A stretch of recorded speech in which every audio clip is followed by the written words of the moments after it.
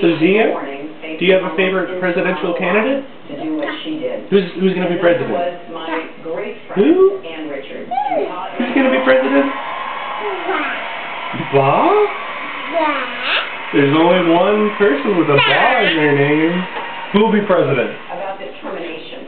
You know, Ann was a great champion for the people of Daddy? that uh, every so often Are you you being the scary scared? face? what it is we're engaged in. And as I think back on those years and the work I've done ever since, Can I see the scary you know, face, for me, politics is about making real differences lives. And I'm very, very proud that over these years, I have been able to make a difference in Ohio and elsewhere. You know, 350,000 children That's a scary get health care face. every month because I help program. That is funny.